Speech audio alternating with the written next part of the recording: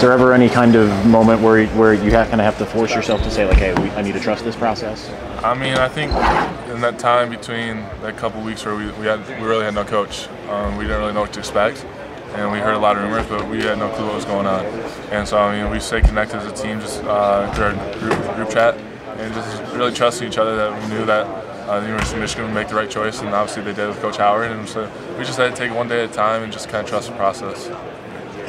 Obviously, I'm sure you've been uh, super motivated heading into all your seasons here, but is there a little extra fire going into this year since it's your last go around here?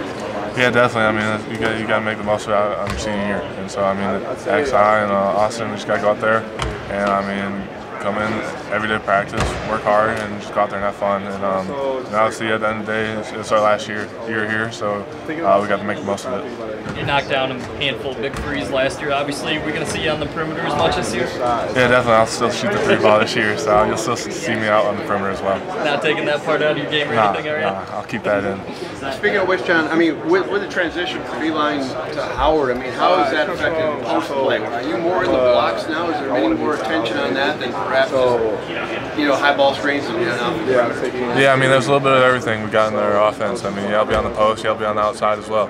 And I'll be setting screens, and I mean, just kind of run through the offense. I mean, if something breaks down, then I'll go set a screen, or they'll throw it into me, and, um, and just kind of play basketball. We'll play inside out, we'll play outside in, and uh, I mean, regardless of what we do, we just got to go out there and make shots, knock down shots, and hopefully win the game. has that been a tough transition from the two coaching styles, Beilein to Howard? Probably. I mean, it's just been a different change a little bit. I mean, obviously, with Coach B, I was up more on the perimeter, um, and now Coach Howard, we kind of on both both sides. And I mean, just go out there and play my game because I know I can play with my back to the basket or anything, and I can be on the perimeter, so I can really do both.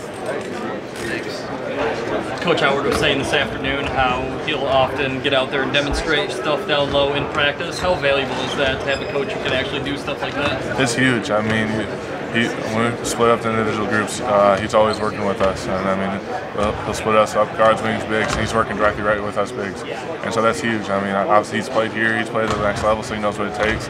And uh, I mean, we can ask him questions. He's more than willing to answer answer them. And then even in drills, he'll go up and um, he'll demonstrate one. And I mean, last week he went up and dunked one, and we all went crazy uh, for him to do that. So it, it's cool to go see him still go out there and um, just, just kind of be himself, really out there. So he can still throw down. Yeah, he does. He does.